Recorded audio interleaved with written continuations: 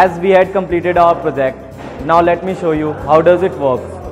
Uh, in this, uh, we had mainly installed four hacksaw machines, uh, which is basically used for cutting of various PVC pipes or metals and any kind on any kind of wood material.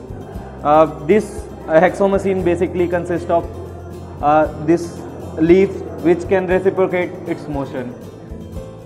We had installed a sink also which is helpful in lubrication of the material. When the blade will move, it will generate some friction in it. Uh, for uh, losing the uh, for minimizing the friction, we are basically cooling the blade of hacksaw.